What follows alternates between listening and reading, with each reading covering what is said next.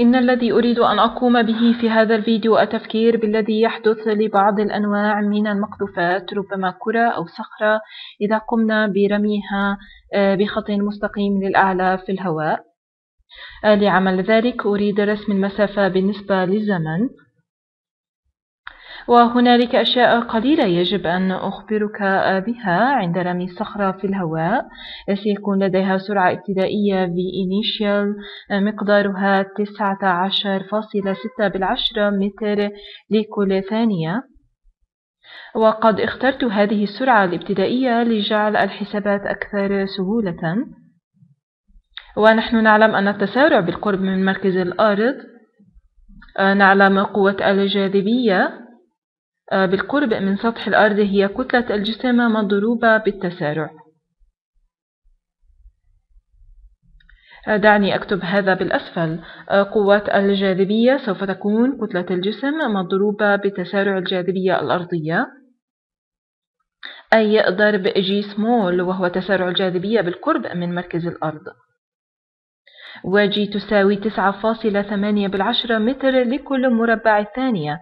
الآن إذا أردت آه، أن أجد التسارع سوف أخذ القوة مقسومة على الكتلة لأنه يوجد لدينا معادلة عامة. F تساوي M ضرب A إذا قسمت طرفا المعادلة على الكتلة سوف تحصل على القوة مقسومة على الكتلة. إذا دعنا نقسم هذا على الكتلة. إذا قسمت طرفا المعادلة على الكتلة في الجانب الأيسر سوف تحصل على التسارع. وفي الجانب الأيمن سوف تحصل على تسارع الجاذبية G small. إن السبب الرئيسي لفعل هذا عندما تنظر إلى جي إنها في الواقع تأتي من القانون العام للجاذبية أنت تستطيع إظهار جي كأنها تقيس قوة المجال بالقرب من سطح الأرض.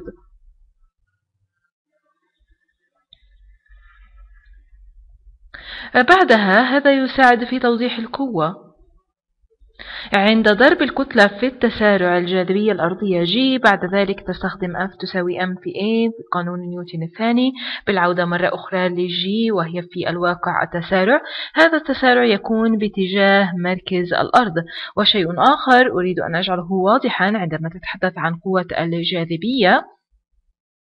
عام قوة الجاذبية تساوي G capital. الثابت G capital والذي يختلف تماما عن G small في كتلة كلا من الجسمين مقسوم على مربع المسافة بين الجسمين. إنك سوف تقول انتظر واضح أن إذا رميت جسم في الهواء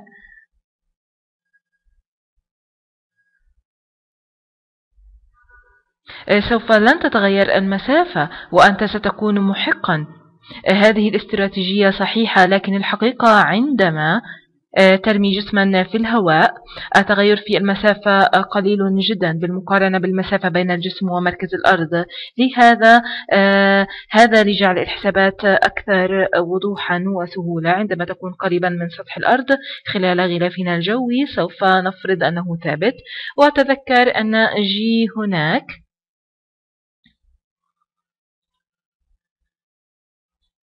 وهذه جميع المصطلحات معا.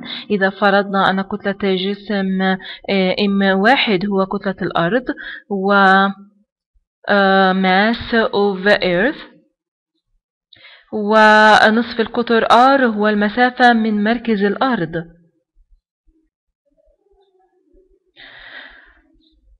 إذا هذا هو radius of the earth. إذا سوف تكون محقا بتفكير إنها سوف تتغير قليلا قوة الجاذبية تتغير قليلا. آه، لكن لدراسة جسم مرمي في الغلاف الجوي نفرض أنه ثابت. وإذا قمنا بحسابه آه، يساوي 9.8 بالعشرة متر لكل مربع ثانية. وسأقربها هنا لتكون حوالي عشرة. أريد أن أكون واضحا آه، هذه كميات متجهة عندما نبدأ برمي الأجسام في الهواء لنتفق على أنه إذا كان الجسم يتحرك للأعلى نعطي قيمة موجبة وإذا كانت تتحرك للأسفل نعطي قيمة سالبة. جيد. إذا كان جسم في حالة سقوط حر هذا الجسم سيتسارع للأسفل. إذا قوة الجاذبية الأرضية ستكون للأسفل. إذا أردنا أن نعطيها اتجاه إنها سالبة تساوي سالب 9.8 بالعشرة متر لكل ثانية تربيع. إذا لدينا تسارع بسبب تأثير الجاذبية وتسارع بالنسبة للجاذبية هو آه، سالب 9.8 بالعشرة متر لكل ثانية تربيع. الآن أريد أن أرسم المسافة بالنسبة لزمن دعنا نفكر كيف نمثل الصيغة. أو اشتقاق الصيغة إذا أدخلنا الزمن كمتغير سوف نحصل على المسافة. سوف نفرض القيمة نحو اليمين هنا. جيد في الواقع سوف أرسم الإزاحة. مع زمن لأنه سيكون أكثر متعة. نحن نعلم أن الإزاحة هي الإزاحة تساوي معدل التغير في السرعة بالنسبة للزمن أي الفرق في الزمن delta T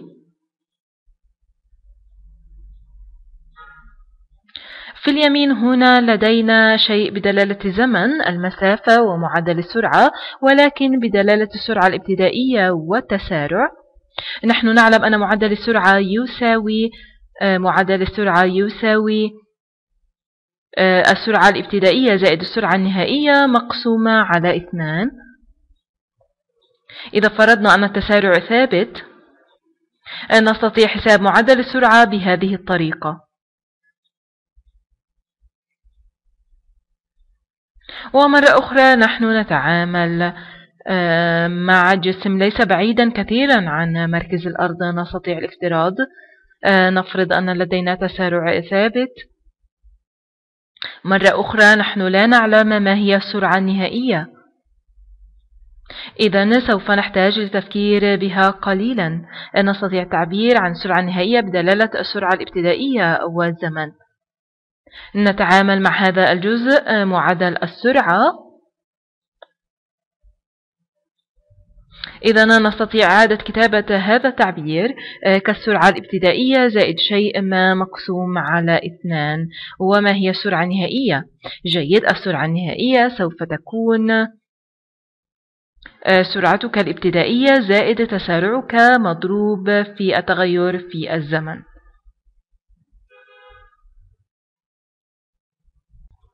إذا بدأت ب...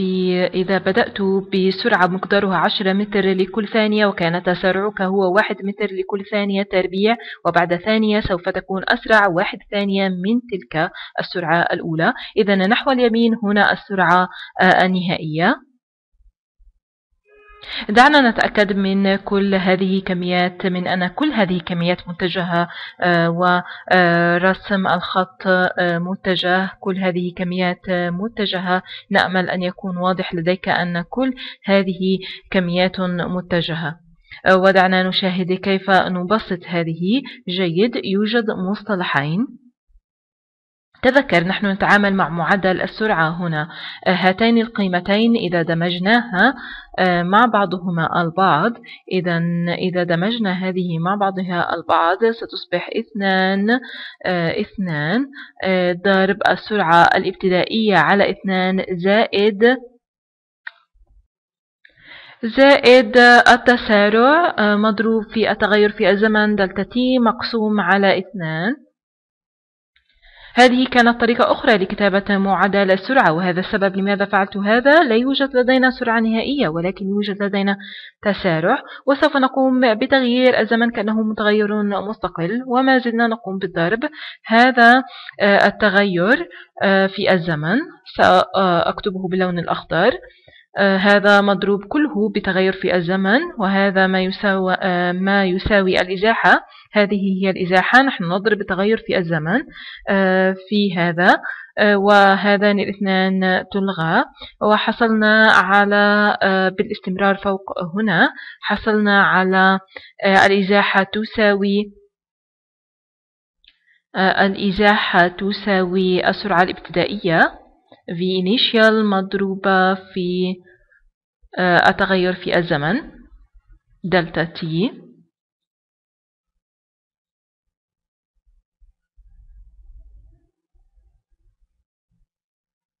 آه، بعض الدروس والكتب الفيزيائية تكتب الزمن ولكن في الواقع هي التغير في الزمن.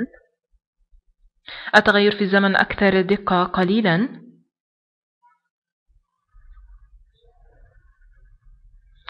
إذا هذا زائد نصف والتي نفسها كأنها مقسومة على اثنان. زائد نصف مضروبة في التسارع. مضروبة في التسارع. لدينا هنا التغير في الزمن مضروب في التغير في الزمن. التغير في الزمن مضروب في التغير في الزمن. دلتا الزمن آه، وتعني التغير. آه، لذا التغير في الزمن مضروب في التغير في الزمن. إنها بالضبط مربع التغير في الزمن مربع دلتا تي آه، وفي بعض الدروس سوف تشاهدها مكتوبة ربما هكذا. دي تساوي V initial مضروبة في T زائد نصف في A ضرب T تربيع. هذا بالضبط يشبه إنهم يستخدمون دي رمز للإزاحة ويستخدمون T بدلا من دلتا T. آه، الشيء الذي يجب أن تدركه في هذا الفيديو. آه، وسوف نسير قدما للاشتقاق. آه، ربما لو أنك كنت تحت ضغط زمني فإنك لن تقوم بهذا. لكن الشيء المهم إذا تذكر كيف ستقوم بها عندما تكون بسن الثلاثون أو الأربعون أو الخمسون أو عندما تكون مهندس وأنت تحاول إطلاق صاروخ نحو الفضاء وليس لديك كتاب لتنظر إليه إنه يأتي من الإزاحة البسيطة والتي تساوي معدل السرعة ضرب التغير في الزمن. ونحن نفرض التسارع ثابت ويمكن استخلاص الباقي من هنا. سوف أتركك هناك في هذا الفيديو. آه، دعني أمسح الجزء الأيمن. آه، فوق هنا. وسوف نتركها في اليمين هنا آه، في الفيديو التالي سوف نستخدم هذه المعادلة التي اشتققناها. في الواقع سوف نستعمل هذه آه، ورسم الإزاحة مع الزمن لأنه هذا شيء ممتع يجب أن آه، تتعرف عليه. ما الذي يحدث للسرعة والتسارع؟ ونحن نتحرك أكثر وأكثر في الوقت.